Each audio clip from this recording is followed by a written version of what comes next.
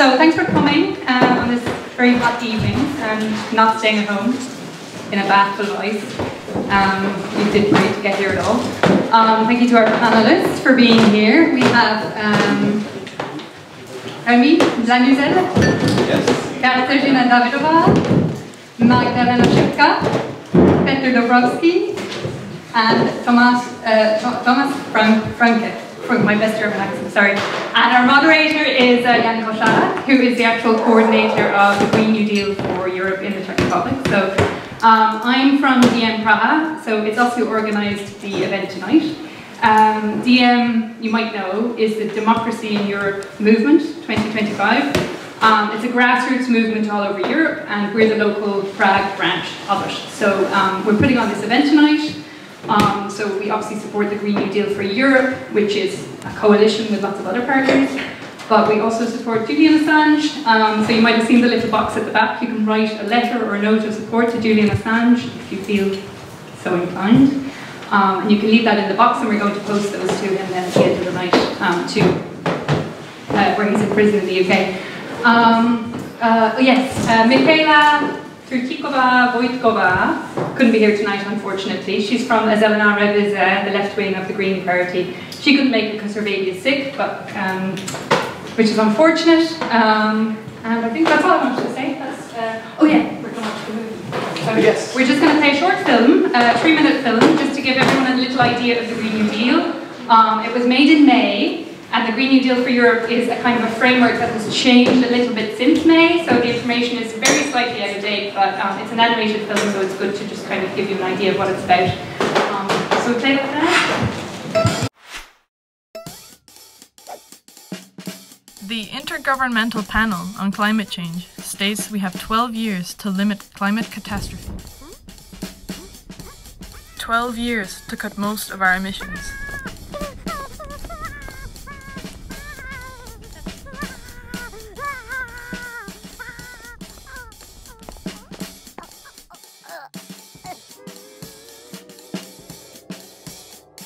In Europe, there's fortunately a broad agreement that a green transition would boost our economy. But reluctant governments and our undemocratic establishment in Brussels are favouring big business tax cuts, letting the few hoard the profits, while imposing austerity on the many, creating job insecurity and Europe's lowest investment to savings ratio since World War II. We say there's an alternative, but it can only be realised if we stand together across the continent. It's time to listen to the people's demands and create a new, green investment plan in favour of workers and our environment. We propose a Green New Deal for Europe. Its main objective? To spend 500 billion euros annually to fund the green transition we need and boost the economy of Europe's working and middle classes. And this is how we'll fund it. The European Investment Bank is going to issue bonds. The bonds hmm. are bought by investors and the public. The money is used to fund green development projects, and the profits are distributed among bondholders. The European Investment Bank issues bonds all the time, but this time it will issue bonds to the tune of 500 billion euros every year for five years, conducting the green transition in energy, transport, and agriculture, and secure a massive increase of unionized jobs across the whole continent. This is all possible within the existing EU framework and doesn't need any new law or treaty to be created. In fact, after many weeks of climate strikes in Brussels, the EU Commission President Jean Claude Juncker promised that in coming years, billions of the EU budget would go to fighting climate change. That's a start, but not nearly enough. We need a truly transformative plan, which secures workers' rights and is paid by secure investment and the EU institutions that are supposed to work for us, not by further taxation of the people. That is why we, in collaboration with the progressives across the continent, have created the European Spring, Europe's first transnational party, to run in upcoming EU Parliament elections and implement this programme. The European elections will happen between Thursday 23rd of May and Sunday 26th of May. Go to europeanelections.eu to find out your country's procedures and dates. We're at a crucial moment in European history. At the same time as faith in the EU is waning, we see a rise in misanthropy, xenophobia, and toxic nationalism. That is why we have come together despite our diverse political traditions green, radical left, liberal to work to make the EU a realm of shared prosperity, peace, and solidarity for all Europeans, and to make sure our continent is taking its part to create the future we want for our world. Hmm. Read the rest of our program at europeanspring.net.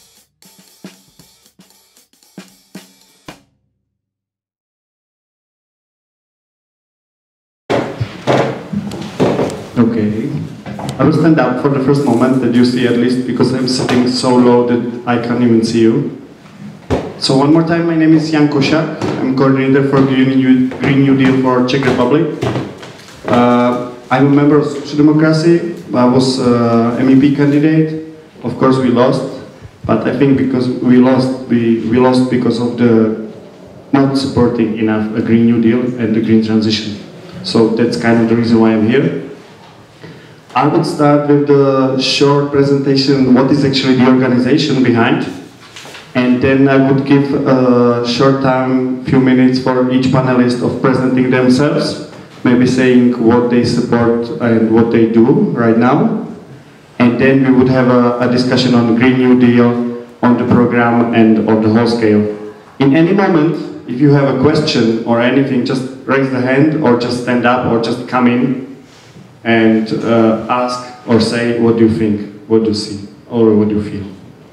And feel free to join us in front. And one more thing, I almost forget, we all forget. I have bring some food. So if you are if you are hungry at any time, just just take whatever you think, whatever you want. Uh, I will sit. So Greenwood, I can you hear me well? Yes. Yeah. Because, oh, okay. I, I can't hear myself well, but okay. Uh, Green New Deal. Uh, it's kind of young organization. It becomes really active after the, the elections because maybe you know uh, DiEM was not very successful in the European elections and we have some members but really few of them. So we, we established a new organization, Green New Deal, which we thought it might be better to have it uh, a little bit not that political. Because our idea was having the umbrella organization which would put together all the movements and all the green think, green thinking people and politicians or anybody who's going to support our program or our ideas and put something in forward and put all these people together. So of course, we become from DiEM, so our main, let's say, supporter or cooperation with, with DiEM, but our idea is to cooperate with also other parties, including Greens, including Socialists, or any kind of movements which would like or we would like to cooperate or actually change change the world. I would say to change the world. I think it's uh, it's enough because the program behind the Green New Deal is really ambitious. We say that it's the biggest transformation in our history, at least in our lives. And I feel that it is like that, so I believe that we can change it, but we have to do it all together. So I would give a space to our speakers right now, to our panelists. Feel free to say whatever you want and then we can start the discussion on Green New Deal.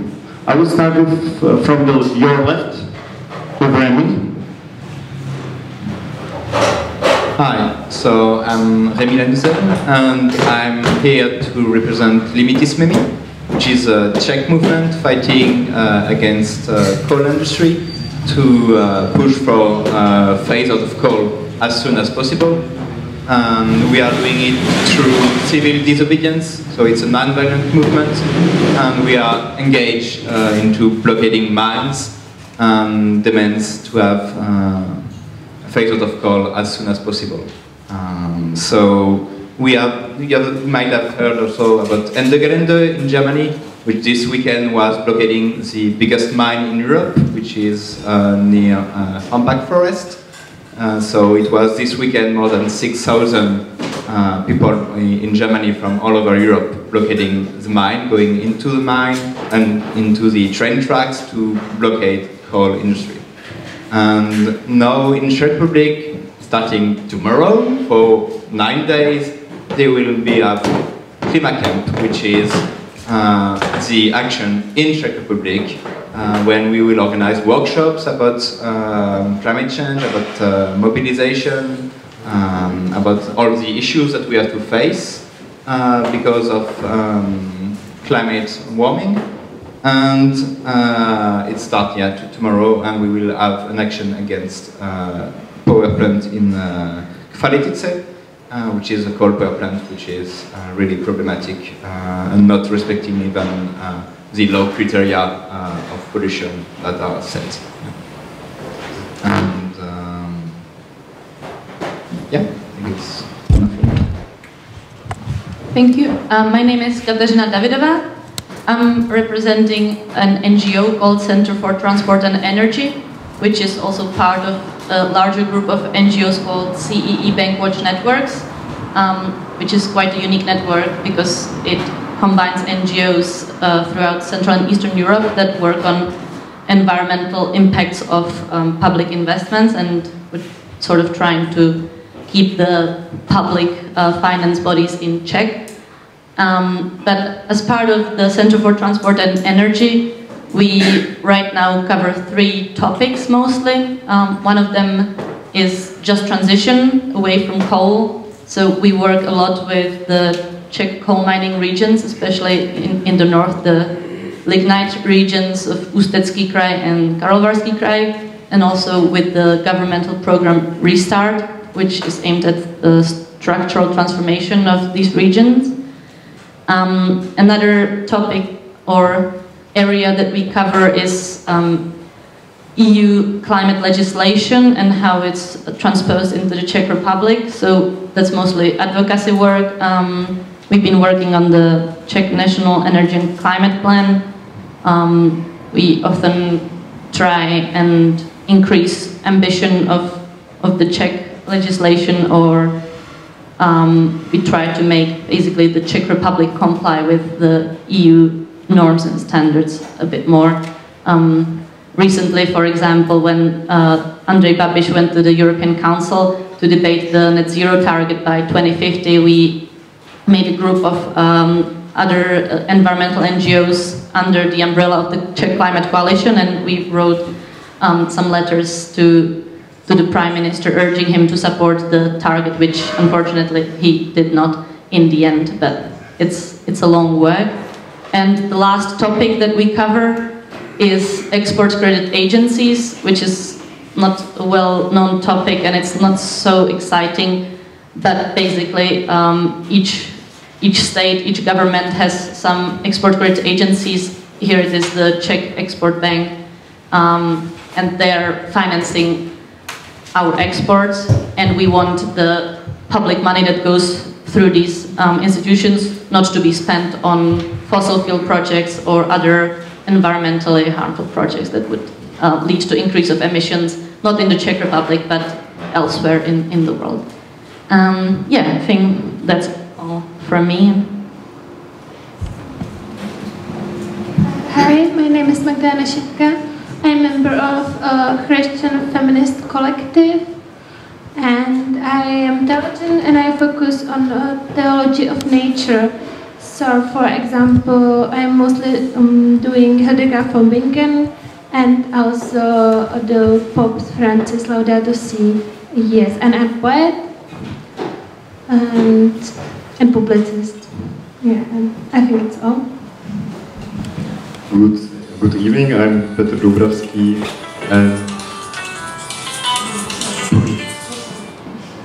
and, uh, and I'm part of uh, Fridays for Future. Uh, I think you uh, heard about Fridays for Future. It's organization of uh, high school students that are striking for climate uh, on Fridays. Yeah, and we are calling we are calling politicians to act and uh, yeah, to care about uh, about climate and we justify uh, and we demand the justified solution of climate crisis. Um, my name is Thomas Franke. I'm here for Extinction Rebellion. Extinction Rebellion burst onto the scene uh, at the end of uh, last October in uh, Britain, and uh, Extinction Rebellion has uh, three core demands. we want the governments to declare a climate emergency in order to actually inform the public on the dire situation we find ourselves in. I think the IPCC uh, prognosis is uh, actually uh, over-optimistic. Um, the second demand is uh, to cut uh, um, emissions, uh, CO2 emissions by 2025 to net zero in the developed world. And the third demand is to um, to get the, the actual implementation of policies to do that uh, via a citizen assembly, which is a, um, yeah, a political tool, uh, uh, probably to, uh, yeah. So our tactics is mass civil disobedience. so far, we have been in my view, phenomenally uh, successful uh, uh, after, after 11 days of blocking just four sites in London, for instance. The, British Parliament declared a climate emergency for Britain. The British government is now actively going for our third demand to establish a citizens' assembly in, in Britain. And here in the Czech Republic, we started uh, serious work in, uh, in January along the same lines of organizing as uh, other people do in other parts of the world, especially in Britain. And uh, we, uh, we went for the lower hanging fruit of putting pressure on, the, uh, on Prague Town Hall. And again, I think for the small numbers we still have of about 100 active members now, uh, we have been phenomenally uh, successful with uh, Prague 6 and 7 declaring climate uh, emergencies and uh, Prague Town Hall declaring a climate, uh, what's it called? Climate, well, they thought of a different title, just the, not to be, not to alarm, to, to alarm the, the public. so, and we, we want to we are taking part in the uh, Klima Camp, and uh, of course we have been in close cooperation with other organizations. Uh, the, the, Fridays for Future has um, regularly supporting us in, on the action in, at Town Hall, and we want to go for a major uh, action with mass civil disobedience by uh, October of this year uh, in Prague. Thank you. Well, I see we have a really wide panelist, which is great for us.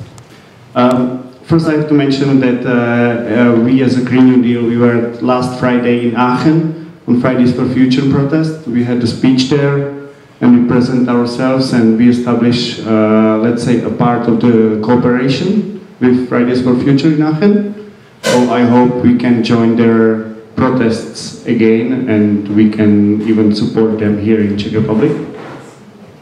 And also we were in, uh, I'm not sure about my German, in Gedilenge. In Gedilenge event, uh, we, well, let's say I have spent the last uh, Saturday in uh, brown cold mine in this weather protesting and trying to, to close the, the coal mines and stop uh, the power plants. So that were the activities of Green New Deal for last weekend only. But in general, we believe that the system is actually, is actually broken. That the system which we are living right now is broken. And we agree in this actually Fridays for Future because we believe that the politicians are not doing enough they didn't know about the problem about maybe 40, almost 50 years, and they are still speaking, but they are not doing enough. So actually our first pillar is uh, called that we have to meet the scale, the real scale of the problem, the real scale of the, I would call it a climate crisis, not just the warming or change, but crisis. So I would like to ask the panelists maybe, uh, what's supposed to be the scale of the change? Is it enough that we start with ourselves, in our lives, in our homes, or it's not enough? Should we push the local governments, the state governments, or European, or worldwide? What do you think? What's, the, what's supposed to be the scale of the change for the future? Who would like to start? No? Okay. Yeah, extension. Okay, I feel chatty. Uh, I just read uh, the uh, Economist, uh, and uh, it's uh, quite quite interesting to see that the Economist agrees that the the market is not enough to actually do a uh, green transformation to uh, avert the uh, major catastrophe that's in the wings. And they also agree that the main the main focus is the political system. That all the other actions that we have tried over the last 30 years have not uh, borne fruit. So I think uh, that's uh, we can't we, we can't we can't any longer lose our time discussing about how to best recycle. It's just a blind alley. I think that uh, if we want to solve climate crisis, we we have to change everything. We need to change the way we are thinking. We uh, need to change how uh, our economy works, and uh, we need to change the whole system uh, in uh, in which we are living. And I will love the question or, or the know that uh, everyone should uh, should start from uh, himself because yeah, start for, from yourself and do the best for uh, for solving the climate for, for climate change. And uh, of course, it's important to uh, to like do what is in your possibility, but and I'm I'm in the way of of our yeah, of, of, what we are buying and of our our like personal consumption.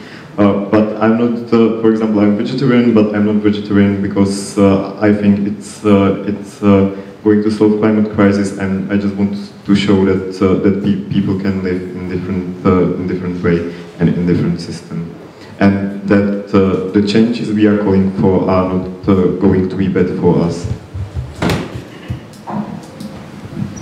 I think we should work together and stop to feel guilt that we really often just point to someone and say you don't recycle enough, you uh, eat uh, bad food and these things. And I think it, this criticization must stop and we have to start work together and support each other in each of ways we can help to uh, change this system and to change the, the way we uh, yeah, we react on, on nature. So uh, let's stop with guilt and stop with criticizing the small acts.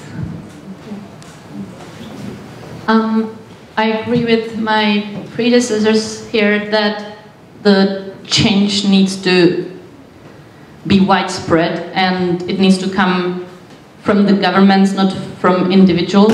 That's not to say that we shouldn't try because the individuals are those that influence what the government will do. So it's sort of interconnected, but without a major change in how the governments see the climate crisis, we are not going to move forward. And I would say that it's it's a question of priorities, really, because we have the, the resources, um, we, we have the finances, uh, we have lots of technologies that if deployed properly, we can make a big change, but the political priorities are not there. Um, so we need to align all the priorities, make, make, climate crisis the really top priority, and then everything else needs to follow. Um, the state budget, investment into everything, it, it, shouldn't be contradicting our effort to combat climate change, climate crisis. And once these priorities are set straight, um, I believe that, yeah, the change is possible. So it's going to be hard to not repeat what has been done. So what I would like to add is more that Like we are um, often saying in uh, climate justice movement, uh, system change and not climate change. But when we have said that, we have not said that much because what is the system? What is the scale of the system?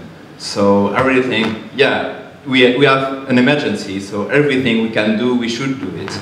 And we try, if we can to um, push our agenda in uh, some local level, then do it. If you can do it in the um, um, government, do it. If you can do it personally, do it. And uh, it's important to build alternatives, because if we are asking for something, we should be able to prove that we can do something differently. So we need people which are just doing their things and saying, see, we can live in a different way. We can have this kind of other system, but we also need people which are going to blockade this current system to force the change. Because if we are just asking massively to people who have interest to keep the system the way it is now, nothing will happen. So we also need that. We also need people which are ready to just say, no, enough is enough. We have an emergency and we will stop it until we met um, what we have to do to limit that, the climate change.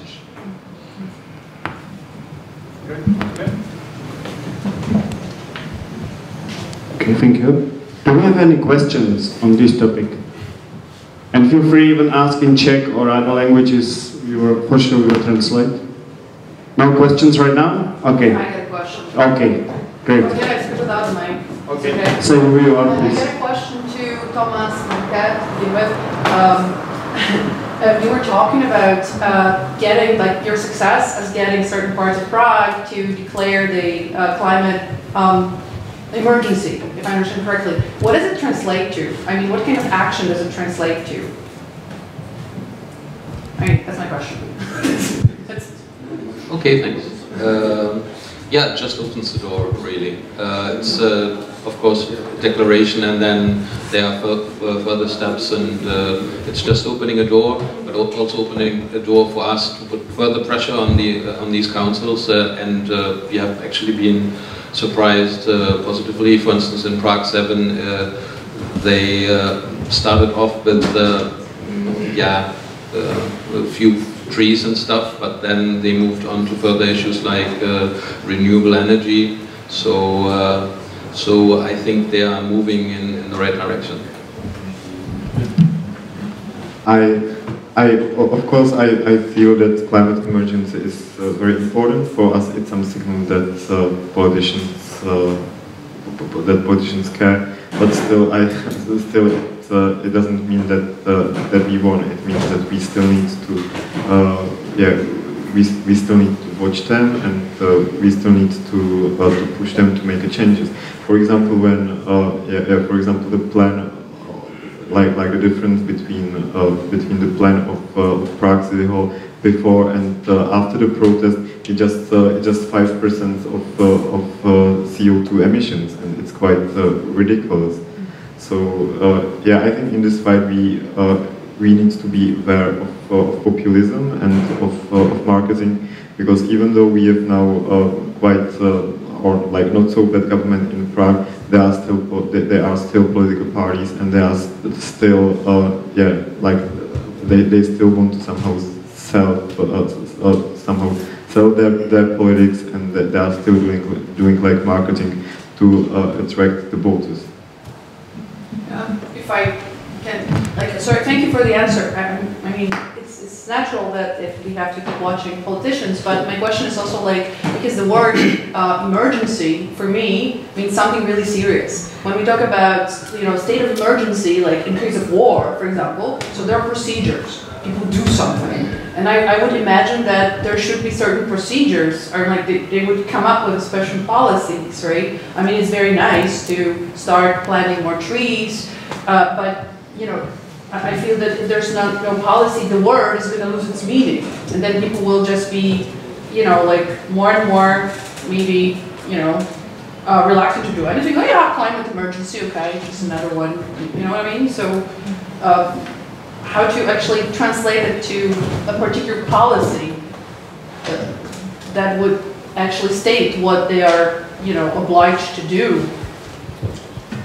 Well, I, I can comment on this because Well, yesterday I spent half a day with some politicians from Prague 7, and what we agree is that to call a climate crisis in any kind of city or even country level is just the beginning. It's just the first step. It's like a political act that yes, we know it's a problem, and we are going to work on this. So I, as we agree yesterday, at least in, from people from Prague 7, is that it's just the beginning of course, it's political act. Of course, it's kind of populism, but at least it calls attention because at least in Czech Republic nobody knows what does it mean. And I mean, the work is on them. They have to now organize meetings. They have to show the policy. They have to show the program, and they have to act. Of course, and we have to. We as citizens, we have to push them. But yes, we agree, we saw it. It's a first step. First step of whole journey how to transform.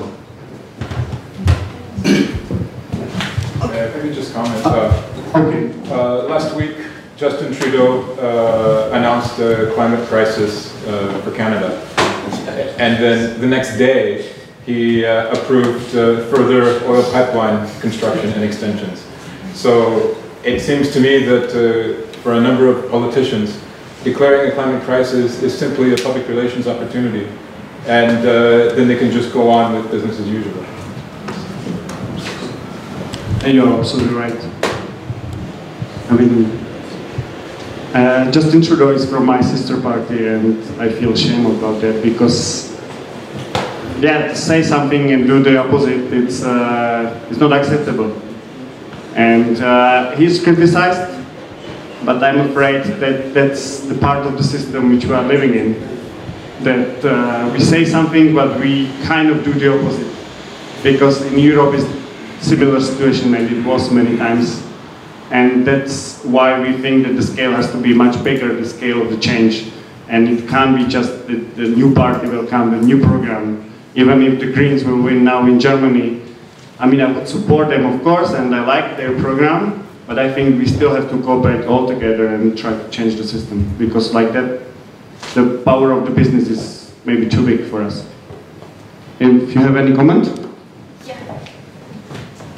Um, just yeah, just a comment because I think we all see that something's changing now with uh, the rise in, in the protests and strikes and um, even at Letná with the quarter of a million people, climate change was mentioned as one of the problems of our today's government. So that is great and we should embrace it. But on the other hand, as you already hinted at, we have to make sure that it's followed by action um, because if it's not, then lots of the people will feel either disillusioned or there would just be a backlash against um, this upheaval that has now appeared unless it's followed by concrete action and people will see that, yeah, there are policies put in place, it's not just a public relations exercise.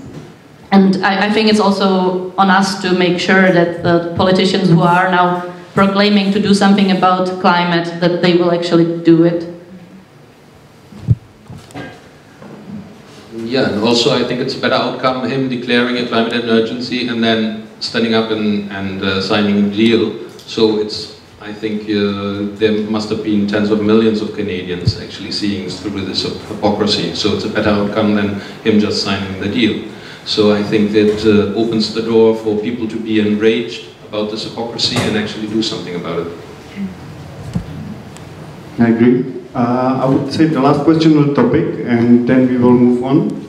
You want a microphone? No, I just, what I would be watching for is some changes in, in the budget, because before they start shifting money between different chapters of the budget and, and invest in, in, in real policies, then I think it's for nothing. Yeah, I, I agree, and I have to comment because the Green New Deal for Europe, we are trying to push actually now the MEPs, which will also vote on this, to have a 5% of the budget uh, having just, just for the climate change, just for the investment, just for the transition.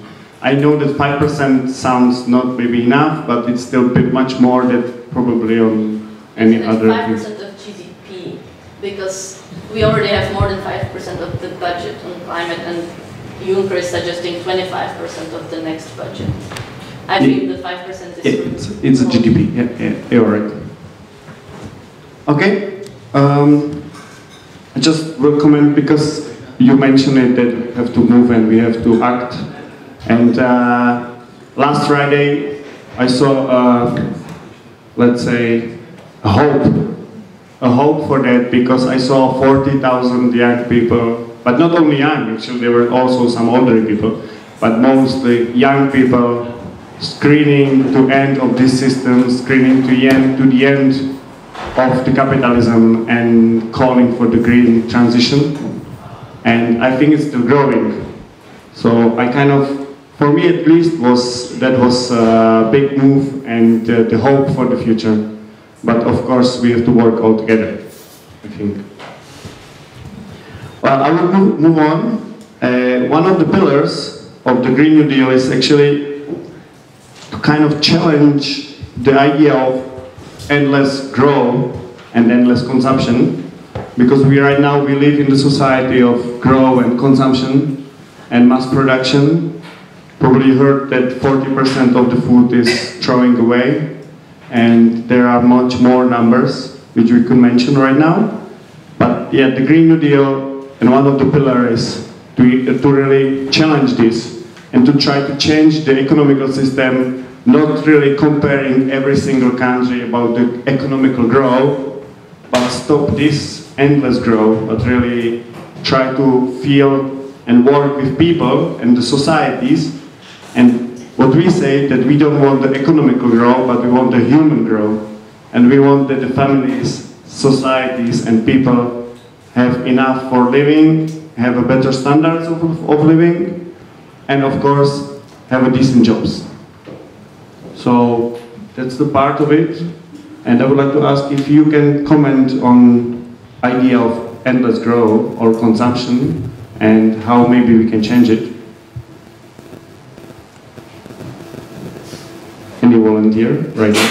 Yeah.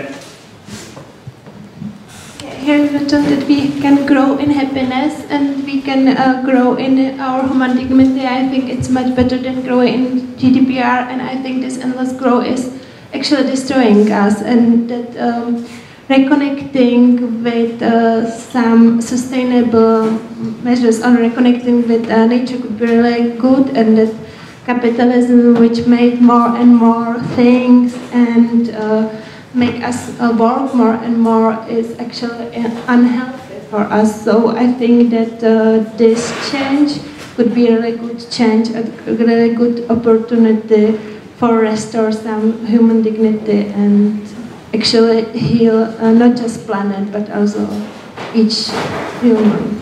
Uh, but it's this utopic vision. Yeah, Anyone else? Yeah, I mean, it's, it's a huge question, and for, for many years already we've been discussing that um, GDP is not the right way to, to measure um, well-being or, or, progress of countries, especially well-being, I would say.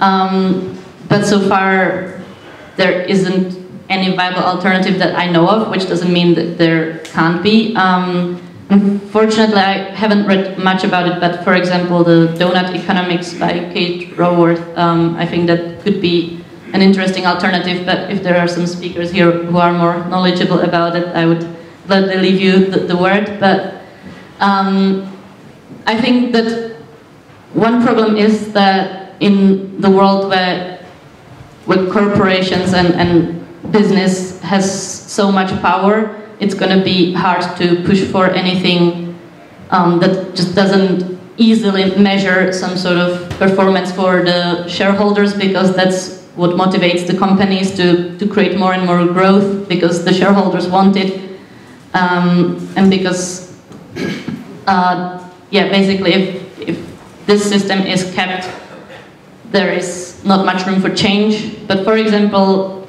if we look at companies um, that don't value shareholders so much, but they value stakeholders, which is a bit different. Um, it's, for example, their employees, um, people who are dependent on the companies for their living and so on. They just don't want the shares and then sell them off when the company is doing poorly, but they want the company to prosper in the long term then maybe we can also look at other measures of, of good performance which don't only relate to the numbers of quarterly growth or uh, annual growth, which I think is, is one of the biggest problems of, of sort of um, GDP calculation. And um, so, as part of a movement which works on consensus, I won't be able to like give a, an opinion on all the movements on this because uh, we don't have uh, discussed and reached consensus on everything that should, we should be doing after that. But which we can have on consensus is that obviously uh, growth, infinite growth, is not going to be possible. Um, we are in a limited planet, and we also have, because of climate change, uh, to phase out of fossil fuel. And now, right now, 75% of the energy in the world is based on fossil fuel. So let's be honest, if we have to phase out of that as soon as possible, it means we will have to learn how to uh, spend way less energy than now, especially if we are also uh, fighting for climate justice, meaning that we want that people which are living with far less standard of living that we are doing here, they will have them to spend more energy than we do here. So we will have to accept that we can't progress and we can produce more and more. We have to learn how to distribute it more uh, equally and we have to know how to reach needs without that much energy implied because we won't replace that much energy with renewable. So I think that's the biggest things that we have to start to think. What are actually the needs of our societies what are our priorities, where we want to spend energy because we think it's important, and where are the part where we have to say, okay, this is not the most important. And in face of this emergency, as it was said, if we are saying it's an emergency, we have to take emergency measures. So we have to accept that also, I think, at some point. Yeah.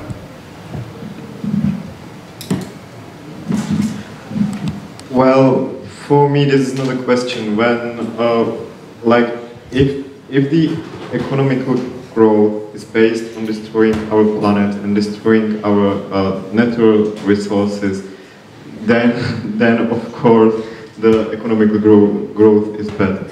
And uh, I think that now all of us can recognize that uh, uh that like infinite economic growth of uh, GDP is not possible like when it's based of destroying planet and we cannot uh, uh, destroy uh, our planet all the time and again and again it's, it's, just not possible because like yeah it, it has some limits and and the limit is climate change and the limits of economic growth could, uh, it is like recognized by all of us right now and right here because it's quite hot in here. Yeah. Yeah, I'm in the same position that uh, we are, of course, a campaign, so I can't uh, talk about stuff that hasn't actually been agreed on, and I can just talk about physics, uh, which means, uh, of course, we are limited. Uh, the, uh, EU planetary budget of what we get from the planetary life support system was was exhausted by the 10th of May, according to calculations, and since then we are again overdrawing our budget. Uh, if, uh, and at, at, the same time, if we want to avoid uh, uh, environmental collapse and biodiversity collapse, there, there are proposals actually to cut, to only use half of the budget that would be rightly in our, would, would be would be achievable if we exploited to, to the max, which would be the 10th of May, which would, if, we, if you add that up, uh, it would mean uh, taking uh, uh, a sixth of the energy that we are consuming at the moment. Mm. So, so I can talk about the physics of this, uh, the planetary boundaries we are, we are uh, stuck up against, but I can't talk about the political solutions to that because basically in Extinction Rebellion we want to we want to leave these questions of how to solve the climate crisis and the ecological crisis uh, to the citizens' assembly as a, as a, a democratic uh, as a democratic assembly of where the whole of society can can uh, mm, talk these things over of how to do it equitable, of how to do it practically. Sorry. Yeah, yeah, no worries. Don't say sorry and just put the question. I- Yeah. I can't help the irony of saying that we can do some little action right now, as Gary has pointed to the necessity of saving energy. For example, we could stop unnecessarily using the beamer because we kind of know what it is about. It's just a suggestion, but.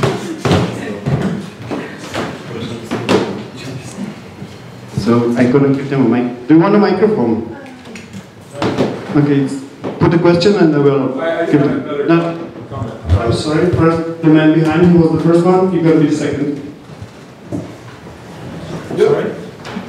You raise your hand, no? Sorry, I did raise my hand. Yeah, yeah, yeah. so it's your time. Um, I, know, I claim no special expertise in this. Um, I recently read an article on mindfulness. Mindfulness you might, is a, like a combination of yoga, uh, meditation, lots of colouring books. And the idea behind mindfulness is it allows you to cope on an individual basis with the world around you. And sometimes the actions that we have to, which we're encouraged to do, seem like an ecological mindfulness. If I'm a vegan, if I recycle, if I uh, use if, if I use alternative forms of transport, then I'm taking individual actions to respond to a systemic problem. And so I was um, encouraged by our friend on the far left, by which I mean you're seated on my far left, um, when you spoke about system change. And so I think that is fundamental because any form of analysis of the growth, GDP and so forth, needs to be focused on the system. Uh, rather than on the outcomes or the individual actions or even group actions. And so I'm encouraged by the system change and I would like you to speak a little bit about how you envisage this fundamental change because it feeds into, if there is an emergency, then perhaps we should take an emergency action. And so how can we um, move from this emergency to bring about system change?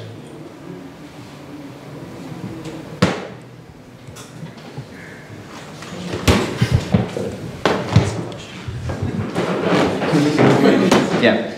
Um, so again, which is complicated here is uh, we don't necessarily have consensus on everything, uh, but what I can say is what is important also is if we want to build another system, we have to do it with rules which are also democratic and where everyone can be included in the decision-making process. That we are, uh, as Limity, a grassroots movement, so every decision that we take, we do it by consensus. So we have to discuss and to agree on what is common interest. As a society, we also need to learn that, that it's, it's not going to be to face this emergency, some uh, central state saying we should do this measure and this measure, um, or we can't even, or, um, just wait and hope for people to take their own decisions. We have to find a way to be again in the same table and discuss in different tables because we will need a big table otherwise, but you get the idea to be able to ask different communities to talk to each other and say, okay, what are our priorities actually? Uh, is my personal interest to do these things more important to the impact? Um, what we like consider as something really important, what we consider as something which is not. Um, that's how we are going to build something, a decision, where we say, okay, this is not possible, and we agree as a community to not do these things anymore because it takes too much energy And we can't do it if we want that everyone have a share on our resources and what is uh, what we have as a whole planet. So I think it's really important to be able to do this. And that's why when we are talking about um, different scale, where, where we should ask individually, when we should ask uh, as a government and everything, I think it's important to be a way, um, to have a way to discuss at really low level or small groups, because you can't discuss with one million people at the same time. Uh, but we have to be able to make these groups talk in a bigger way also and connect to have like communities. You have like, um, and this is not like um, theories of commons. When you have resources, you have to share it, and you have to find a way uh, to decide how to share it. Um, this way, this is energy in this case, because producing energy takes resources, and we don't have infinite resources. So the question is how to do that. Um, I don't have a totally made up idea on how to do it. I have some ideas on my own, but that's not important. What is important is how we create these spaces to discuss about that and to agree on what should be done and what our priorities. I don't know if it's answer what you... Are. No, I think it's fascinating. I do think it's quite encouraging the way you're doing that. How, at the moment, here we are on Thursday, eve uh, Wednesday evening, who is your community? Okay, it depends of uh, every community will depend on resources you are talking about. If you're talking about water, your community will not will not be the whole planet because it's not how the water system works. It's going to be more in the scale of like your river, of your lake, or where you're living. If you are talking about uh, CO2 emission, it's going to be the whole planet. So you will have to find another way to uh, discuss things. So it depends on what you are talking about. If you have a forest and you need wood, it's going to be the people which are living near the wood and uh, depending on these resources. So you, we all are in different communities in this sense, depending on what we are doing. Currently you're participating, because the, the, the, structures and the dialogue which you're describing, um, I find really quite an exciting uh, project. So can you tell me specifically um, what communities you're involved in today? Okay, uh, myself I will be involved in communities in uh, Prague because I'm living here. I will be involved in Limity jsme my uh, as people which are concerned about the climate uh, issues. I will be involved for water from this, uh, which is this system. But for every community, you will have, if I'm doing uh, activities, cultural activity even, you will be involved in the community. If you're doing dance or things, you, your community will be the other ones participating this activity with you. But I, I, don't want to go further with it, and I, we, I will be happy to discuss with you after if you want. Yes. But because I'm not here to uh, do this, because it's uh, it's going further than what we are doing as Limity, so it's not my place to talk about this more. Well, thank you. There was one more question. Um, I just wanted to uh, point out as far as a vision of uh, where we can go with the low carbon economy. Um, I know of two French writers. One is Philippe Bihouix, who came out with a book five years ago, L'Âge des low tech, um, where he brings into question not just the fact that we are creating carbon emissions, but that we have a technological economy which is based on resources which are limited and which will run out. For example, uh, in order to fertilize uh, the soil for agriculture, we are dependent upon large imports of phosphorus. However, the reserves of phosphorus in the world, if they're to be used at the current rate they're being used, they will run out in 70 years. So the agricultural system just cannot continue functioning the way it's functioning. The other writer is uh, Pablo Servigne, who came out uh, five years ago with a book called uh, Feeding Europe in a Time of Crisis. And uh, both Bihouix and Servigne pointed out that there is a nation in this world which has been enforced to adopting for the last 60 years a low carbon economy because that nation has been embargoed by the largest Western country for the last 60 years, and that nation is Cuba. And so he, they both, Bihouix and Servigne pointed out that we should look to see how Cuba has solved their existence, solve the structure of their economy uh, in, a, in an enforced uh, low carbon uh, world.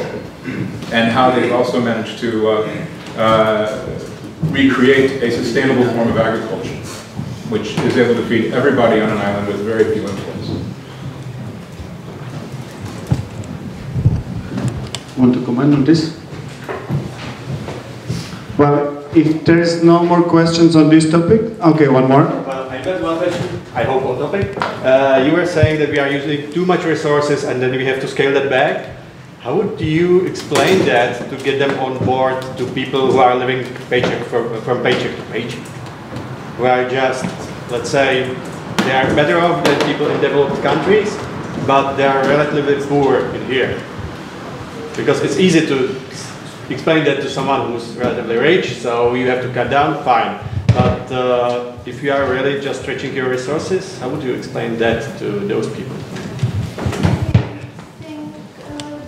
answer is transforming of work. That uh, it's, I think that it's clear that we have to start working in different way, maybe less in general. And I think this kind of people are really uh, tired and uh, usually work long hours, and that uh, sh generally short hour times we spend in work could be really useful for them and uh, they can care much about their family, about the local things, and if they get the same wage for their work, I think it could be also good for them. Yes. Uh, I will just comment you and then you have a question. Uh, I just think that, I mean, that's the basic uh, comment usually here in Czech Republic on our let's say, Visegrad countries.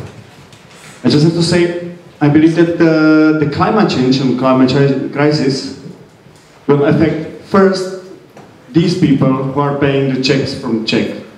So that's why we are mentioning also the Green New Deal as uh, not just the environment movement, but also so sociologists or left wish, I would call it a movement, to fight the inequalities and to actually make uh, the first priority or the second priority is the level of the living of those people who are affected in the first row. So I think that's kind of the comment of the Green Deal. Uh, there was the first one. Uh, well, I think I think that we are not uh, fighting uh, against climate change, but we are fighting for climate justice um, because it's important and well, we cannot uh, solve climate crisis by by its causes.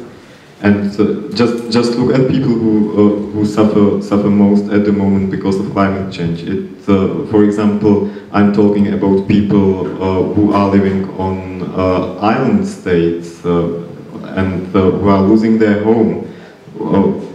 well, you, you see that climate change is just not justify and uh, if we want to solve climate crisis, we need to bring uh, justify solutions. And I think that uh, I think I think that that it's something that the climate movement is uh, is trying to do at the moment. And of of course we of, of course that uh, we don't know what uh, exactly to do because and, and we don't know how to uh, so or I don't know how to solve climate crisis uh, right now right here. But uh, but we are trying to and uh, whatever we are doing we need to uh, yeah we need to think in some consensual way and yeah and we need to yeah we need to remember that that without uh, justice, we, we won't save, uh, save our planet. Mm, yeah, here in the Czech Republic, it's uh, basically the same. Uh, I know lots of people who are fighting climate change by installing uh, air conditioning in their homes, right? So, uh, and there are then those people who don't have the money to do that. there are those people who have to buy uh, potatoes now at uh, at uh, 24 crowns when they just last year they, they were only at 16 crowns per kilo. So the climate change already has an impact, a sizable in, impact on on the life of, of the poorest in our, in our society. And I think uh, uh, there are two ways. You could either uh, institute a green uh, dictatorship. Um, this has worked in the Dominican Republic. Uh, or there's the other way uh, of uh, sharing the few resources that we cut our system down to, to and, and, sharing that's more, more equitable. And then I think you actually have a large part of the, of, of the poorest members of our society on board because they are in the rat race because they have to keep up at least the appearance with the Jones next door. If you if you actually take more from the Joneses, then then you ease the pressure on, on them too. And at the same time, you can gear the whole system to public transport that is uh, instead of cars. You can, so you can gear the whole system basically, yeah, uh, sort of along the lines of uh, what uh, was said about uh, Cuba, uh, hopefully at the same time avoiding the, the bitter poverty that most Cubans live in. Um, I just wanted to answer as well because it relates a bit to the topic of just transition that we're working on and so I, I can, for example, relate it to the coal mining region here in the Czech Republic where um, the idea is that those who are employed in the coal sector shouldn't just be made redundant from one day to another because we close down the mine, mines and the power plants but there should be some uh, planned process of requalification and of course with green energy come also new jobs um, in that sector which are sometimes probably even better than working in a coal mine I would say um, healthier as well so I think combined with what uh, you said about working shorter hours which probably in the future will, will be a necessity um, it's also combined with employment in, in the green sector. And also an important part of it is the public participation of the people who are affected by it. So for example, in Ústecký region, we're trying to get more of the locals to comment on the national action plans because those people know the best what they need and oftentimes nobody asks them about that and they just think they know better. Um, but yeah, I think with public participation, you can go a long way in sort of setting up a system where where these people do better than than currently. Just a short comment, because I'm from the Moravia Silesian region, and we had a kind of similar problem with the black coal mines, and we managed it. So we already have a, I would call it more or less a, a positive experience of uh, giving people new jobs and requalification and trying to actually help them with their situation. So I believe that we can do it the same way with the other coal mines. Yeah, well, okay, sure. Uh, well, first of all, thanks for, uh, all your inputs, and I definitely have sympathy with, with the cause. Uh, that being said, you all talk about the need for more communication, for more dialogue, for more inclusiveness. And at the same time, if we are to take the video at face value and the general scientific consensus, we barely have the time to, to actually conduct any kind of dialogue on what needs to be done. I mean, I was happy that someone actually mentioned a climate dictatorship uh, because that would be efficient enough, but Obviously, we don't desire dictatorship, no one in their right mind would. But in the absence of that, and given the fact that we're talking about city uh, parts of climate emergency, which might result in a couple of trees here and there, or nothing any more substantial, um, what could something like, let's say, a one-child policy be, be one of the solutions because children are amongst the highest sources of, of emissions. um, if we are to be absolutely drastic, because you mentioned, if I understood you correctly, complete emissions neutrality by 2025. if right now we have Denmark trying to reduce by 70% in 2030, and they describe it as an Apollo 18, that, that Apollo 11 project. They don't know how to achieve it, but they want to. How do you imagine? Thanks for shutting up. Uh, how do you imagine uh, neutrality by 2025?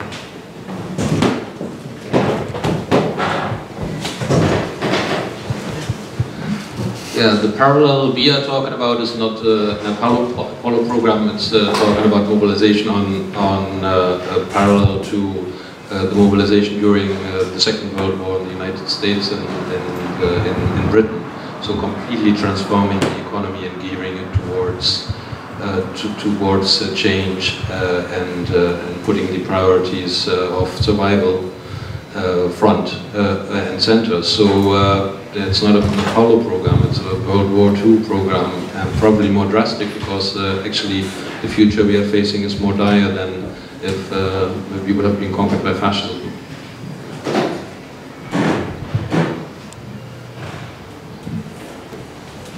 Okay, two more questions. First, over there. My question is back, back to, to, the, uh, to the question of, of justice. Um, uh, as long as I know that uh, about 50% of, of the CO2 emissions is made by, by 10% of, of the richest uh, global wide. I don't know the figures in, in, in nationwide. Uh, but this tells us that uh, from another perspective, uh, the, the, the, the, bottom 90% they are sustainable, they're living in, a sustainable way. So we can turn also the other way around. Uh, the, those most affected by, by some cuts uh, would be uh, those of the, of the top 10%.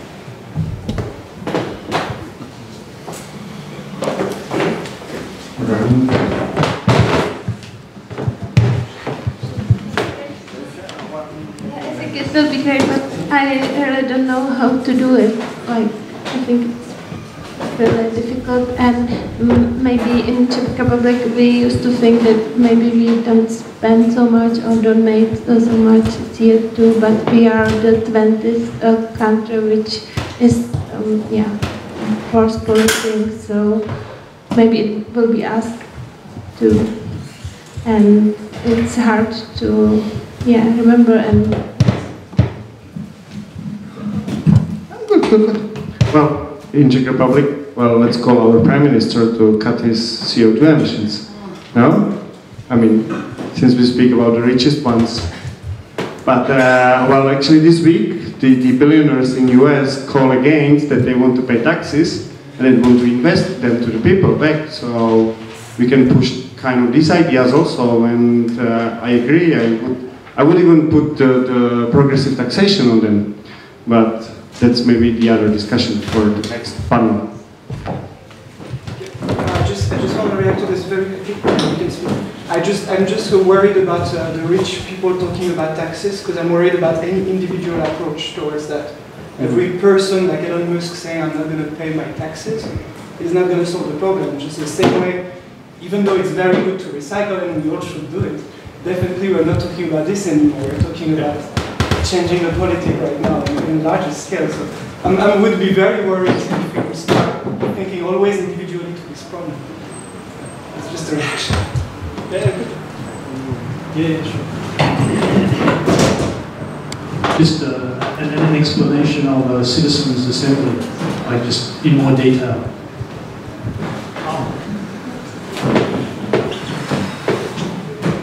Yeah, you see uh, the political system is uh, basically broken. It's visible not only with uh, the the climate crisis that has not been solved over the last 30 years, but actually gotten much worse over the last 30 years since uh, the IPCC was founded.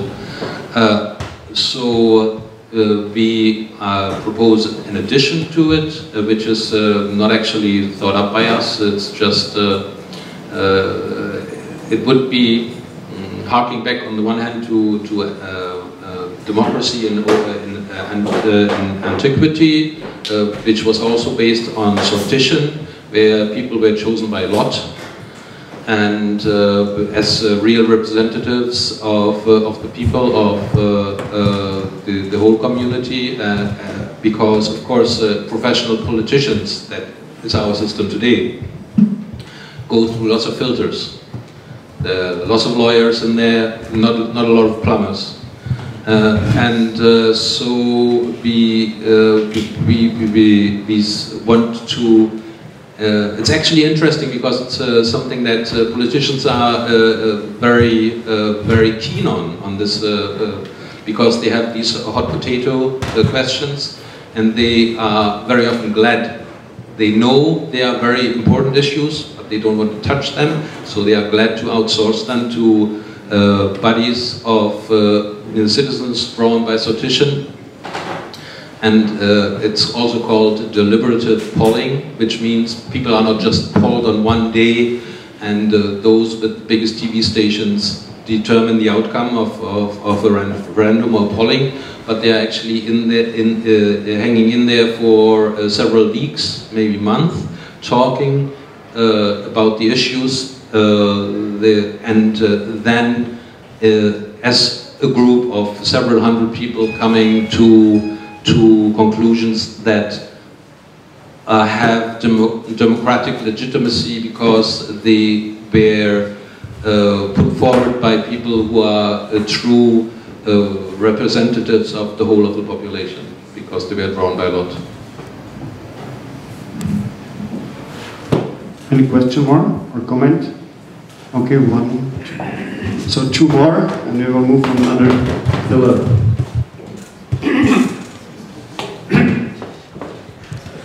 Uh, so yeah, thank you for all the input here.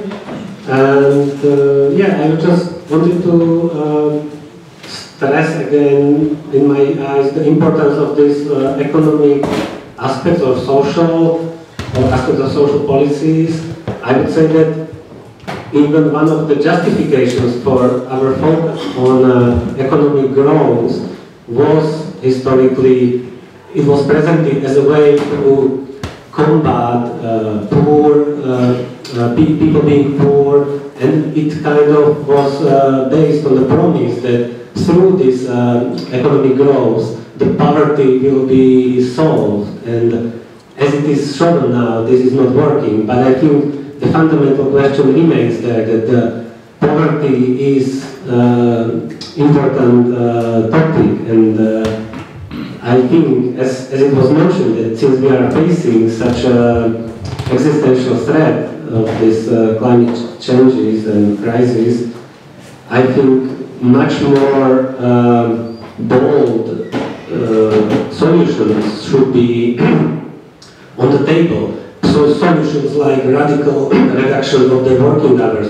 There was some tank from the UK saying that as one of the measures to directly combat climate change would be to reduce the working hours to nine hours per week, or, or at least on the UK, but I think we can extrapolate it onto the whole European Union.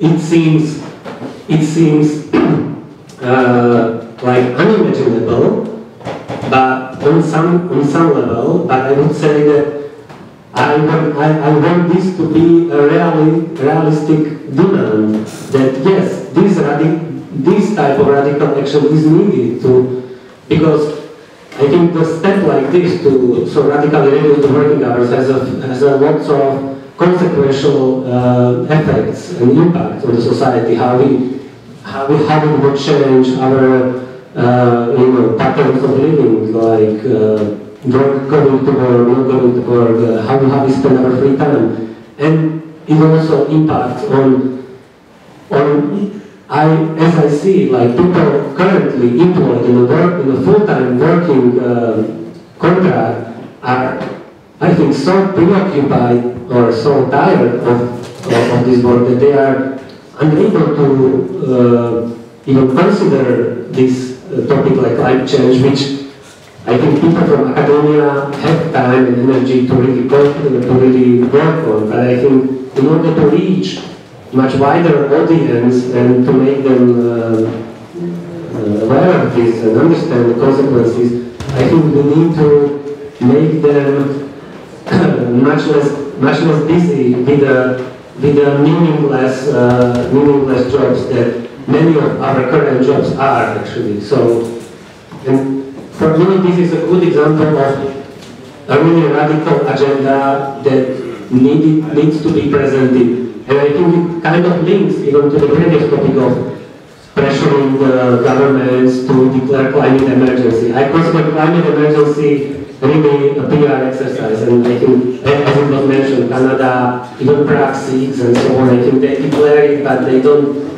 I, I, think we will need to really demand very concrete or much more concrete steps from, uh, from these bodies. So in, in context of Prague, I think in the like, like today, this is the hottest day of the, of the year, so I think it would make sense to demand that Prague radically imposes some restrictions on the car travel. Not only due to CO2 emissions, but purely by the heat that the car produces, I think is, it would, it would have been so much sensible uh, policy to, to do. And so I think, yeah, I just want to push for more radical demands from from of citizens towards the uh, government bodies.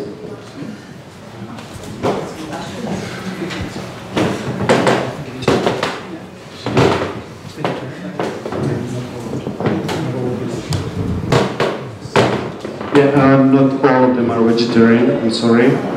I just get them for free and I didn't want to throw it away. Um, just a short comment. I would be happy if you can join uh, us in some other discussions because we are trying, as I said, we are trying to put these ideas together and reunite the ideas, not just one single program. And we already cooperate with some people from universal basic in income organizations and that might be also the solution. So yeah, I would be happy to, to support that and to speak about it and more. And we had one more question. Um, yeah, I uh, this is a question to basically anyone on the panel. Um, I'm British, and uh, and so therefore I'm uh, I've inherited imperialism. as my birthright. I don't go out and conquer or, con or colonize places habitually, but my status in the world, the very fact that I'm speaking English, my status in the world is an inheritance of imperialism. And I can stand up, oh, my, my family's very working class, we were all miners and farm labourers. But in reality, my status is based upon an imperial past. Um, and so the wealth of my country is an historic wealth which has been built up over a series of time. And so my education and my sort of social expectations have been based upon this historical inequality between different nations. Now, what I see in some of the things that we've been talking about is almost like a resource imperialism. That certain countries around the world are, are there's a huge inequality between different countries in the world because the wealthier, more powerful countries have been drawing resources from the poorer, less powerful countries. Now, Petr was talking about climate justice, which sounds wonderful. Um, and we were talking about people's assemblies, and that whole structure sounds really exciting. But how do we persuade, two questions. How do we persuade people in this country that we're rich? Because as somebody who's lived in this country for some time, every time that topic is brought, no, no, no, no, Britain is rich, the Czech Republic are poor. We can't afford to do these things. So part of the question for climate justice, if we treat it as a global question, is to persuade people in this country that they are rich and powerful and that they, we can talk about moral duty or political duty, or whatever, but they need to recognize that disparity. Um, the second question is that once you've persuaded the people, what can we do on a global basis to bring about that greater equality or that greater equity between the two, from not the two, but many different countries around the world? Um, are we going to do it within nation states, which I'm skeptical of? Or is there somewhere, I mean, this is one of the questions you were talking about, communities. How do we operate on a global community level? How do you persuade the people in the National Assembly or People's Assemblies? National Assembly sounds good because it's French Revolution. The People's Assemblies that they are rich and so they must think globally and act globally. But that's a question to anyone, really. Well, I will first answer as a Green New Deal for Europe, because that's the program for whole Europe, which of course in the global work is one of the biggest, but it's not the main important. Of course, we have to cooperate with other countries. But for sure, of course, since you probably heard about the Green New Deal in the US with Alexandria Ocasio-Cortez and Bernie Sanders on the board, but also here in Europe, that is not just the Czech Republic or in UK, where actually the organization is much bigger than here in Czech Republic. So we believe that we have to cooperate all together. And uh, the inequality I will leave for the next pillar, because that's actually the topic which I wanted to mention more. Uh, more. And now, if you want to answer. Um, that's maybe another look at the imperialism that you mentioned and um, how to persuade Czech people that we're rich. Okay, I don't know how to do that, but I think one good argument for um, increased climate action of the Czech Republic is our historic emissions, which together, um, if we cumulate it over our whole history, are one of the highest in the world. Actually, until I think 1960s, we were in the top 10 emitters in the whole world as Czechoslovakia because we were very industrial nation. So if now somebody says the argument that we shouldn't reduce our emissions because China isn't, um, we should always say that historically we have such a debt of emissions that we have to um, reduce them much more. Same goes for Britain and, and other yeah, Western countries. Um, Okay, I just want to say that uh, this question is not about morality and it's not about that we can help or we uh, don't have to help, it's just about survival. So we are not deciding if we are rich and we will help these poor people, we are just fighting for uh, survival. And I just think maybe people in Czech Republic don't think they are rich because in fact they are not. We have really low incomes and there are only few people who uh, get the money for this dirty business we have done. So uh, I think we don't have to proceed and that we are help, we have just to proceed and we have to do something with it and that we are uh, protecting something and yes, just on helping others, it's helping ourselves. Well, the, the first question, I think that, that it's something we are talking about all the time. We are still uh, lesser affected by climate change than, uh, than people in the rest of the world, uh, and uh, especially people from so-called uh, global south. And uh, but we are still, or, or like, or like, like the the injustice of of climate change and of of responsibility for climate change could be also seen in Czech Republic. And it's like uh, you know like like there is there is some difference between like uh, people in Czech Republic in general and between uh, people from global south. But uh, but there is still as well some some difference between uh, between like rich people in Czech Republic and, and uh, yeah, and I think this is something we need to explain people, and uh, uh, and also like the the just the, the just transition is also answer for for this question, because uh, yeah, because we know that uh, that the transition and that solution of climate crisis uh, should not affect people in global south or, but made people people who are poor here in Czech Republic. And uh, the second the, the, second question, like I have I have no idea. Like uh, I think I also think that I I cannot have uh, I, I, I cannot have idea about this because uh, because I don't believe in I, I don't believe in solutions that uh, that are by by one person. I think it should be always on uh, on some based on some decision making of uh, of group of people.